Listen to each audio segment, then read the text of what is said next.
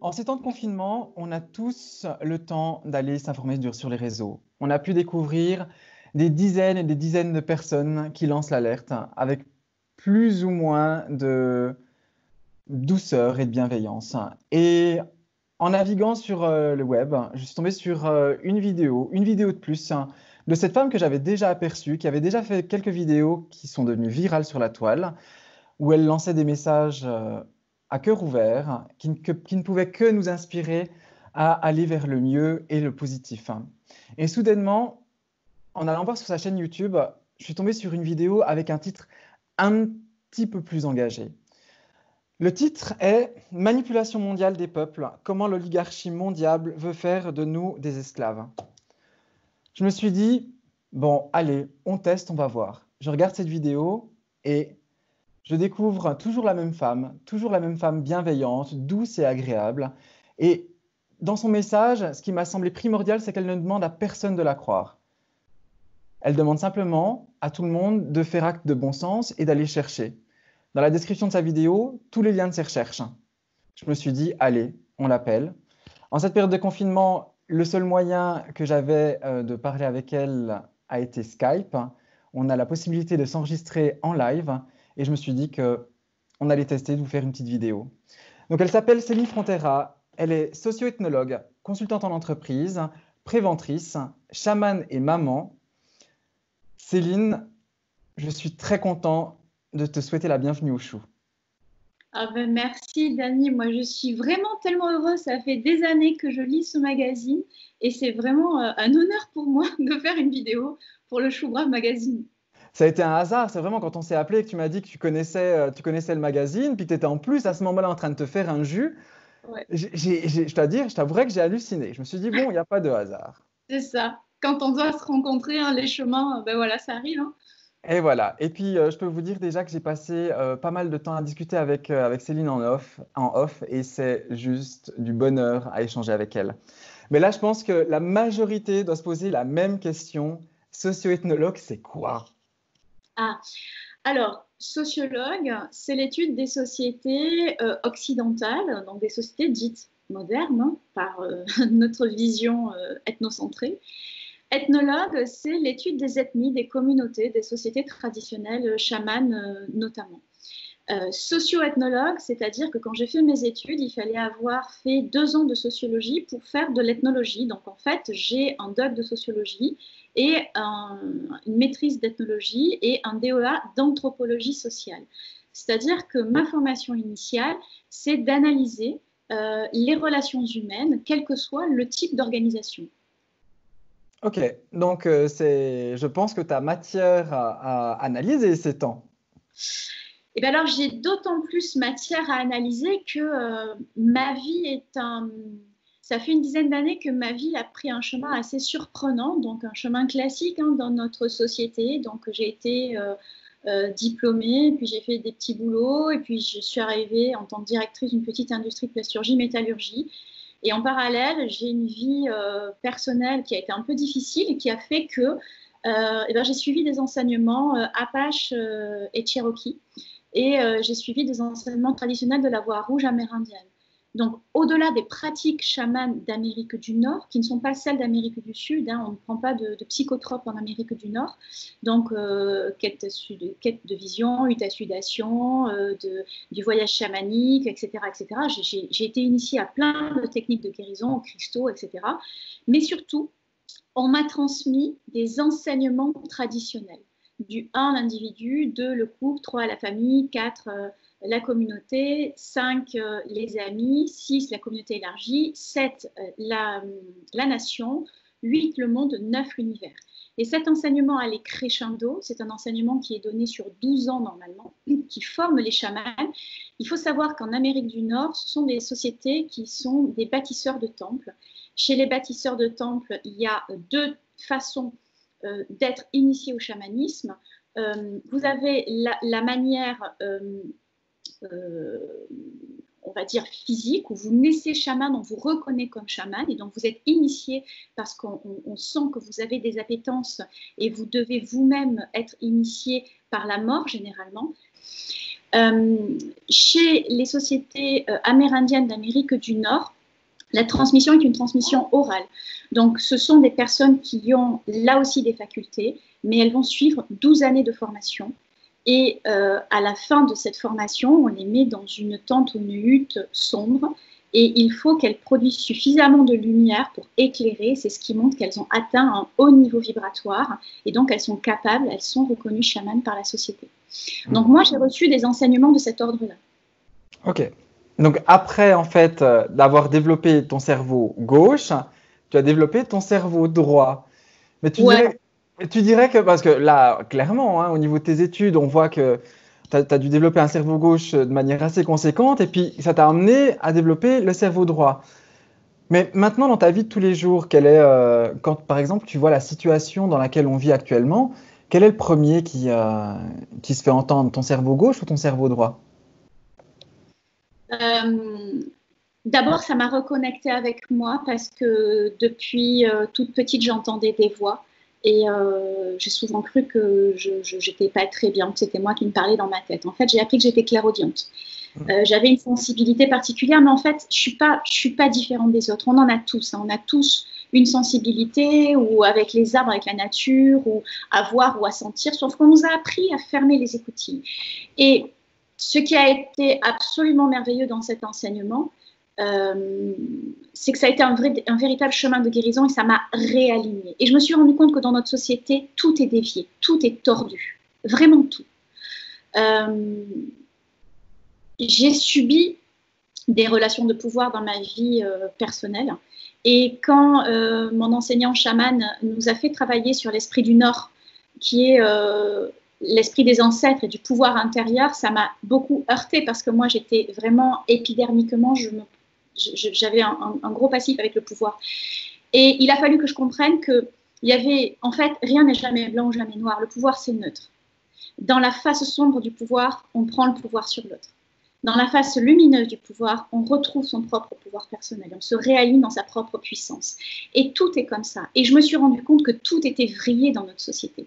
Est-ce que tu as un exemple concret à nous donner euh, pour euh, montrer à quel point euh, ce qu'on fait ou ce qu'on peut subir en ce moment est vrillé? Ah ben, Ce qu'on appelle une démocratie, clairement. Enfin, je ne sais pas, ça fait quelques années personnellement que je ne vote plus parce que quand on vote blanc, les votes blancs ne sont pas exprimés. Ce qu'on appelle une démocratie dans nos sociétés, en réalité, on donne notre pouvoir à quelqu'un d'autre pour nous représenter on, ne revendique pas, nous, ce que l'on veut. Et donc, on s'est dépossédé de notre pouvoir. Et vous le voyez bien avec cette question de vote blanc. Il n'y a plus de référendum.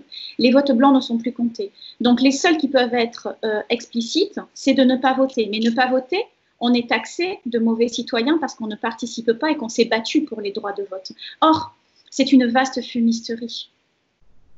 Ce n'est pas vrai. On ne nous écoute pas. On met en place un système, on a mis en place un système euh, qui est piloté et dirigé par des gens qui n'ont rien à faire de nous, qui se moquent pas mal. C'est juste nous faire croire et nous donner l'illusion que c'est vrai. En fait, on leur a confié notre pouvoir. Et on ne s'est pas préoccupé s'ils étaient euh, sincères ou pas. Et ce qui nous revient aujourd'hui en boomerang, ben, j'ai envie de dire, c'est un cadeau. Regardons-le comme un cadeau, dans la mesure où on leur a tellement donné notre pouvoir qu'ils sont en train d'en faire un acte totalitaire. Et en fait, le cadeau, c'est de se dire, ben, est-ce que moi j'ai envie aujourd'hui de me faire complètement déposséder et d'obéir à une pensée unique? Ou est-ce que j'ai envie de me centrer, de m'aligner, de retrouver mon propre pouvoir? Et la question, elle est là. Mhm. là. Il y a de la prise de conscience en fait. Là, au niveau, de, au niveau de la situation actuelle, on a été divisé. Je pense que pour une socio-ethnologue, euh, tu dois y voir quand même certaines choses hein, de cette distanciation sociale. Toi qui justement étudies euh, les sociétés, qu'est-ce que ça te, qu'est-ce que ça dit en fait cette distanciation sociale, ce confinement et cette division qui a été mis en place depuis ces euh, six dernières semaines? Moi, ça me pose beaucoup de questions. Ça me pose beaucoup de questions parce qu'effectivement, je me suis beaucoup renseignée, y compris dans des domaines qui ne sont pas les miens, dans la haute finance. Euh, j'ai lu un anthropologue de la santé qui a, j'ai oublié son nom, mais un monsieur absolument exceptionnel. J'ai lu beaucoup, j'ai lu des, euh, des chercheurs, des médecins, et pas que le professeur Raoult, j'en ai eu d'autres. Et j'ai essayé d'avoir euh, une vision un petit peu globale et tout se converge vers, dans le même sens. Et c'est ça qui est inquiétant, c'est que tout se converge vers le même sens. Ça me pose beaucoup de questions. D'abord, le confinement. Quand on voit qu'un pays comme la Suède n'est pas confiné, n'a pas plus de morts que ça, moi, ça m'interpelle. Quand on nous surine des chiffres à, à, à tir larigot en longueur de journée en disant que c'est très grave et qu'on regarde les statistiques de l'INSEE, moi, ça m'interpelle. Euh, et ce qui m'interpelle, c'est que euh, la mesure de confinement sépare sur la peur. Or, on sait qu'on est dans un état de sidération. Naomi Klein l'explique très bien euh, dans, son livre, euh, on, sait que l'on est dans un état de sidération. L'état de sidération, c'est quand vous avez un lapin devant les phares de la voiture, il est tellement sidéré qu'il ne peut plus bouger. Et on est dans cet état-là et ils activent les peurs pour nous mettre dans cet état-là. La prochaine étape, c'est on nous parle de déconfinement, mais on ne sait pas trop quand, on ne sait pas trop comment. On ne sait pas trop ce qui va être fait. Et puis alors là, c'est la menace d'une deuxième épidémie. Alors quand vous entendez des épidémiologistes, ils vous disent, n'importe quoi, il n'y aura pas de deuxième épidémie, ça, ne fonctionne pas comme ça. Donc la menace d'un reconfinement ou d'un déconfinement partiel, enfin, c'est pas très très clair. Donc c'est quelque chose de très flou. En revanche, euh, le déconfinement, oui, mais pas au-delà de 100 km. Moi, j'ai mes parents qui sont à 350 km, ça veut dire que je ne vais plus jamais voir mes parents. Et ils, soutiennent, en tout cas, ce qui est dit, c'est qu'il va y avoir euh, des, tests qui vont être pratiqués, des tests qui vont être pratiqués, on ne sait pas trop comment, euh, mais si vous êtes euh, positif au Covid, il se pourrait qu'on vous enlève vos enfants, euh, voire même qu'on les vaccine, on ne sait pas trop, donc on va encore plus séparer les familles. En tant que socio-ethnologue, c'est extrêmement dangereux. Ce qui est en train de se manifester là est très, très dangereux et très violent. L'être humain est un animal social. L'être humain a besoin de contact. C'est euh, un, être kinesthésique, comme tous les animaux. Vous verrez des chats, des chiens, ils sont tous ensemble. On vit en tribu, les êtres humains. Et la taille idéale pour des êtres humains, ce que je constate dans des entreprises, etc., c'est une cinquantaine d'êtres humains. Ça, c'est parfait. Vous voyez, dans les petits villages, etc., on se regroupe toujours entre petites communautés, petites associations. On est fait pour vivre à ce schéma-là et à ce niveau. C'est extrêmement dangereux de séparer les gens. Et en plus de la peur, si vous coupez le lien social, alors vous allez avoir des gens qui deviennent vraiment des moutons et qui vont dépérir et qui vont obéir à tout parce qu'ils n'auront plus euh, leur, euh, leur essence pour vivre. Un bébé, au-delà, avant même d'avoir besoin de boire et de manger, il a besoin d'amour, il a besoin de contact. Euh, vous voyez, dans les pays d'Amérique du Sud euh, qui n'avaient pas les moyens de, mettre des couveuses, euh, il y a, dans les années 70, on a créé ces bébés d'écharpe, mais c'est effectivement, c'est ça. Quand vous voyez dans les sociétés traditionnelles en Afrique, les femmes, elles portent beaucoup leurs enfants. On a besoin de ce contact physique et humain. On en a besoin. C'est un besoin vital. Couper le lien social, c'est nous tuer à petit feu. C'est même la première chose que les sages-femmes font après la naissance de l'enfant, c'est de le mettre contre le papa ou la maman. Hmm. Aujourd'hui, oui. Et c'est un, un, besoin vraiment vital. Et nous couper de ça, d'ailleurs, les, prématurés que l'on laisse en couveuse sans, sans, toucher, ce sont, des, ce sont des enfants qui développent de grandes pathologies, de gros manques. Euh, parce qu'ils ont été coupés très tôt de ce, de ce, besoin vital. On est un être kinesthésique, on est des êtres sociaux, des êtres kinesthésiques. C'est extrêmement dangereux ce qui est en train de se mettre en place en France. Vraiment hmm. très, très dangereux. Par rapport à ce que là, on peut, on peut clairement sentir ta position. Et par rapport à ton rôle de préventrice en entreprise, comment ça se passe? Comment tu gères ça en fait? C'est la question que je me pose. Euh, parce qu'il y a d'un côté euh, la loi qui oblige les dirigeants à mettre en place des mesures de sécurité, à mettre en place une certaine distance entre les personnes, euh, qui peut, encore une fois, moi je, je, ne fais que me poser des questions, j'ai un point de vue mais il m'appartient, je ne fais que me poser des questions c'est l'idéal en virus, parce qu'un virus, on ne peut pas le voir, c'est l'ennemi idéal. Je vous invite à lire un article du Monde euh, qu'on peut peut-être poster sous cette vidéo de 2015, qui explique extrêmement bien la mise en place de l'État totalitaire dans les pays européens. Cet article a été écrit après les, à la suite des attentats. et où il disait que finalement euh, les terroristes c'était euh, un ennemi idéal parce qu'il était invisible et que ça a été le premier pas vers la, mise en, vers la militarisation de la société et euh, le fait de faire passer aux gens quelque chose qui devait être ponctuel, qui en fait est devenu permanent. En France, on voit régulièrement des militaires avec des FAMAS se promener dans les rues. C'est hallucinant. Et on a laissé ça, et maintenant on a un deuxième ennemi qui est encore mieux parce que lui, il est invisible. Donc en fait, on peut faire passer tout et n'importe quoi. En tant que préventrice, bien évidemment, mon rôle, c'est de protéger tous les êtres humains et euh, euh, je dirais d'accompagner le dirigeant dans sa responsabilité. Il y a une responsabilité pénale de prévention physique et psychologique. Donc lui doit mettre en œuvre tout ce qui est possible selon la loi. Or, la loi dit une distanciation de 4 mètres carrés entre les personnes.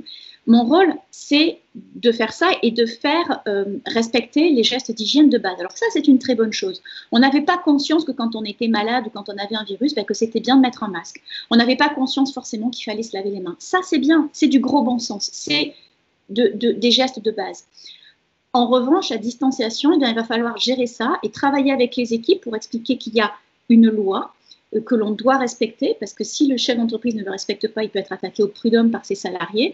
Dans des boîtes de 20 ou 30 salariés, ben, ça peut être mettre la clé sous la porte et licencier 30 personnes, ce qui, dans le monde actuel, avec, euh, d'ailleurs, c'est scandaleux, tous les commerces fermés, tous les petits patrons qui sont aujourd'hui à la rue, on a tué la microéconomie et on va continuer de la tuer. C'est scandaleux. On est en train de déposséder les Français de leur libre arbitre de travailler librement.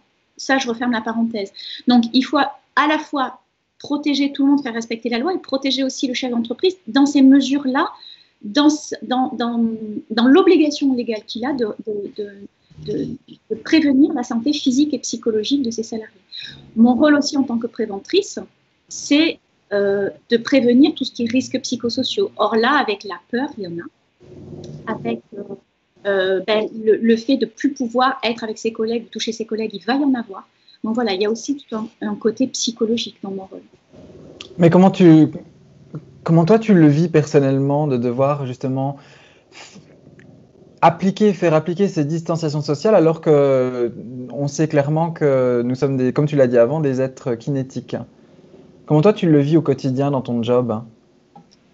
Eh bien, je dois faire respecter les choses, donc je vais accompagner le dirigeant et les équipes tout en leur demandant du gros bon sens et en leur demandant de trouver aussi des solutions entre eux, entre elles, pour savoir comment s'organiser au mieux et surtout pouvoir parler de ce qui pose problème et pouvoir le poser sur la table, avoir des moments où on peut poser ça, en parler, expliquer et c'est tout à fait normal et je vais l'expliquer aussi que c'est quelque chose de tout à fait normal. Euh, de, de pouvoir créer des espaces de sécurité où on peut en parler ensemble et entre collègues. Donc ça, c'est pour la partie consultante, mais comment je le vis? Je le vis surtout bien parce qu'aujourd'hui, je suis thérapeute aussi à côté et que j'accompagne, je suis thérapeute chaman et j'accompagne des, individus à dépasser leur peur et à se reconnecter à leur être divin. Et, euh, et j'avoue que de plus en plus, moi, ce qui m'intéresse, c'est d'aider les gens et de les accompagner sur cette voie-là parce qu'on doit aujourd'hui se reconnecter à ce que l'on est vraiment et à sa pleine puissance de lumière. Hmm.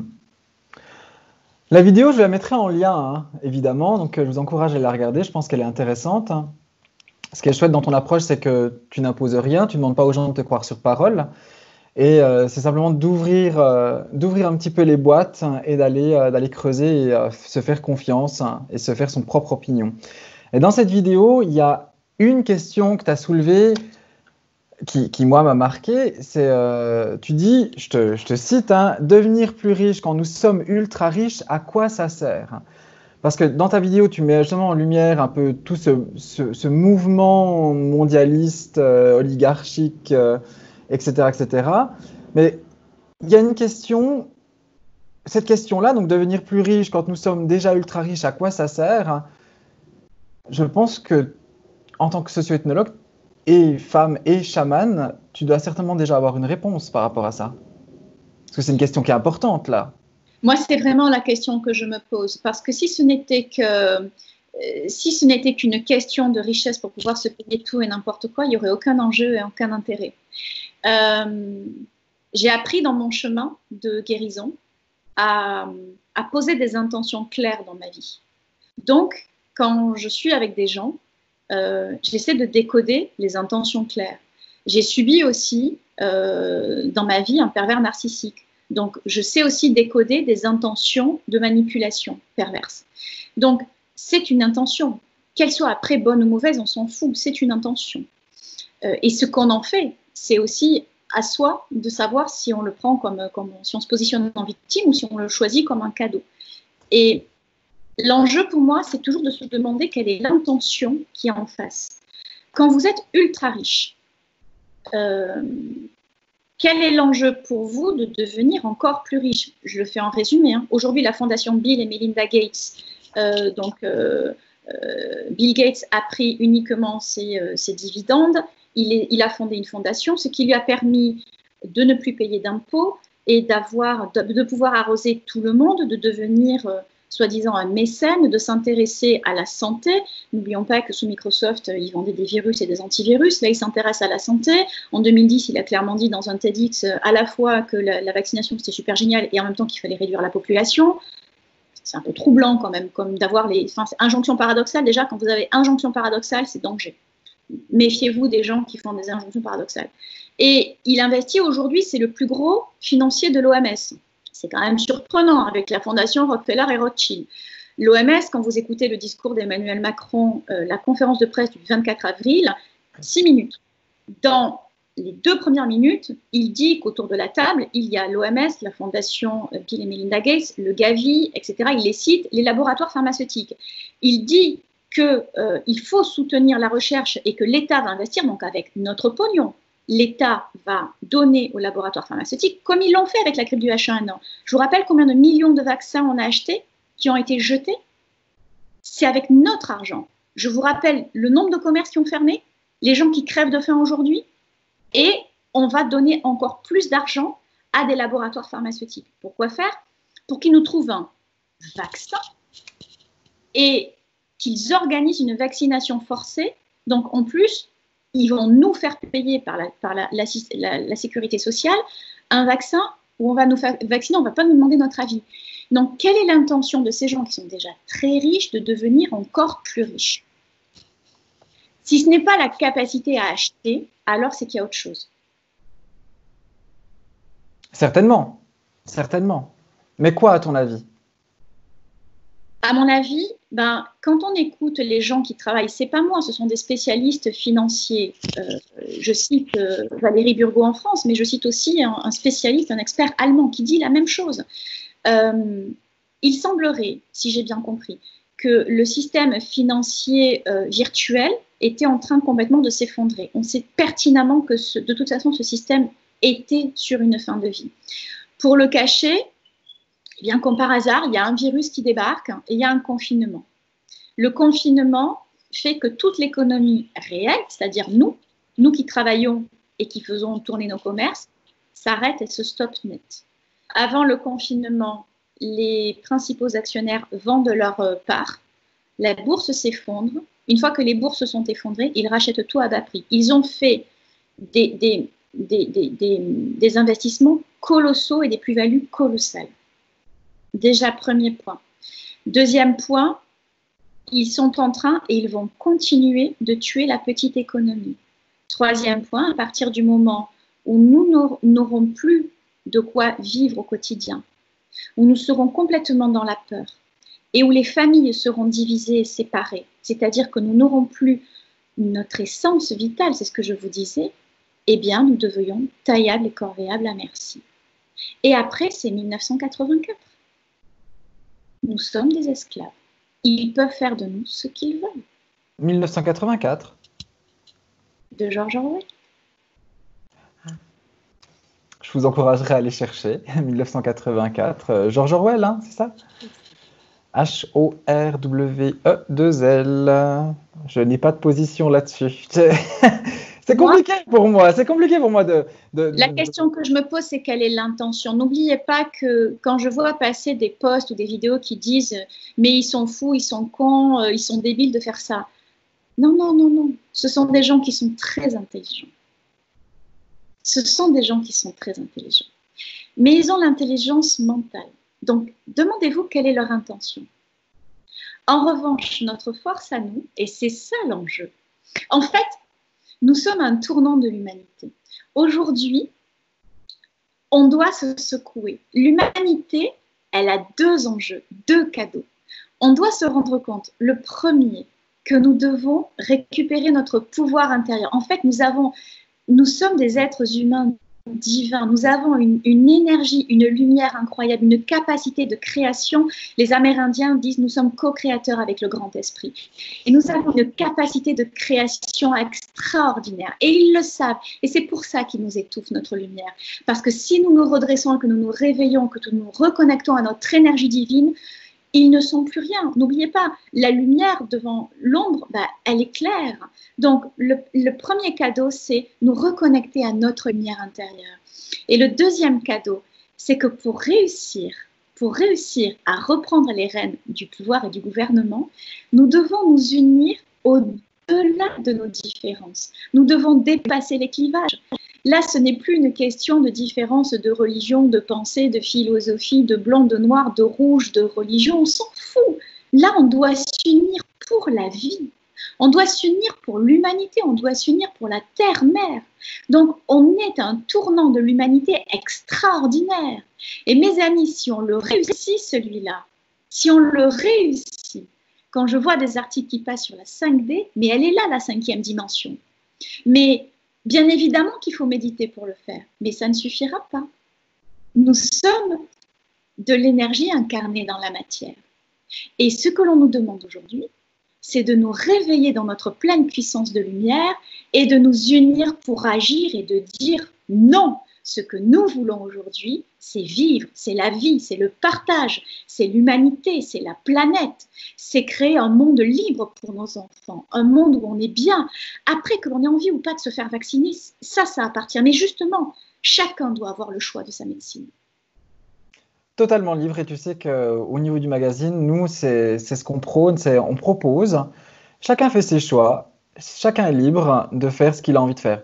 Donc si je résume en fait la, la, réponse à la question, en fait, ce qu'ils attendent derrière ça, c'est d'accentuer le déséquilibre, social qui est déjà ambiant, mais que ce qu'ils euh, veulent, en fait, c'est que nous n'arrivions pas à nous reconnecter à notre, notre âme profonde. Et je peux dire déjà d'avance qu'ils sont cuits et que de toute façon, ça se passera. Voilà. Mais si ça se passera, on voit bien que depuis des années, la planète augmente en vibration. On sait très bien, il y a de plus en plus de gens qui ressentent des choses, qui sont éveillés, qui entendent, qui sont un peu déboussolés. On le voit bien que ça avance. Maintenant, comment est-ce que ça va se mettre en place? Ça, ça nous appartient. Et ça, c'est notre choix. Vous savez, euh, la planète, toutes les sociétés traditionnelles que je suis allée voir disent qu'on en est à la quatrième humanité. Hein. La dernière fois, on a péri par l'eau. Or, l'eau, dans la Bible, c'est Noé. Dans notre culture à nous, c'est l'Atlantide. Euh, il y a des, des, des, euh, des, histoires comme ça euh, qui, qui, existent dans toutes les communautés que je suis allée voir. Mhm. Il est dit chez les Amérindiens que si l'humanité ne réussit pas à passer le cap, elle périra par le feu cette fois-ci. Donc, le choix, il nous appartient. Mhm. Nous avons la capacité et la possibilité aujourd'hui de nous redresser et de nous unir pour faire basculer les choses et pour rester et pour enfin passer ce cap, pour ne pas tout recommencer. Donc, c'est un moment merveilleux que l'on vit, effectivement très anxiogène, mais ô combien merveilleux. La question qui revient tout le temps, c'est et maintenant on fait quoi? Donc toi, Céline, pour toi, c'est quoi ta réponse à la question et maintenant on fait quoi? Ben, C'est ce que je viens de dire. On se ancre, on s'aligne, on, on, se reconnecte à son pouvoir intérieur, on se demande non pas ce que l'on ne veut pas, moi, je vous invite vraiment à arrêter avec le négatif, mais prenez un papier et écrivez ce que vous voulez comme société, ce que vous voulez laisser comme planète à vos enfants et à vos petits-enfants, ce que vous voulez comme, euh, comme façon de vous soigner, ce que vous voulez comme façon de vous alimenter, ce que vous voulez comme façon de vivre, ce que vous voulez comme maison, ce que vous voulez, quel est le choix que vous voulez faire, ce que vous voulez comme travail. Posez-le, prenez le temps d'écrire, vraiment, centrez-vous, alignez-vous, allumez une bougie et faites ce travail. Qu'est-ce que vous voulez? Et à partir de là, eh bien, ancrez-le à l'intérieur de vous. Je veux ça, je veux ça et je vais créer ça. Et que chacun fasse ça. Et à partir du moment où vous allez verbaliser, mon enseignant disait, le verbe est la première médecine, il est aussi la première magie. Nous sommes créateurs de notre propre destinée. D'abord, on le pense, on a l'intention, ensuite, on émet la vibration. Eh bien, dites-le. Dites-le et unissez-vous et unissons-nous pour dire ce que nous voulons. Et là, nous allons commencer à faire basculer les choses. Mais n'attendez pas, ne confiez pas votre pouvoir en quelqu'un d'autre, ni en moi, ni en personne d'autre. Il, il est fini ce temps-là. Il est fini le temps des chefs. Bon, je crois que vous avez compris, son message est clair. Céline, merci. Merci de nous avoir accordé du temps. Je me réjouis de continuer à parler avec toi en off, parce que je sais qu'on a plein de choses à dire. Et puis, euh, j'espère qu'on aura l'occasion de te retrouver une fois de plus sur la chaîne YouTube du Chou. Merci à vous tous pour votre soutien. Continuez à soutenir le magazine. On vous rappelle, on est une presse libre, totalement indépendante, avec 0% de pub. Donc prenez soin de vous et euh, partagez cette vidéo si elle vous a parlé, posez un petit pouce bleu, likez la page.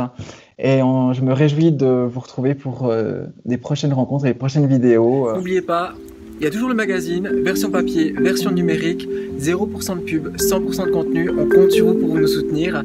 Et je vous dis à bientôt dans la prochaine vidéo.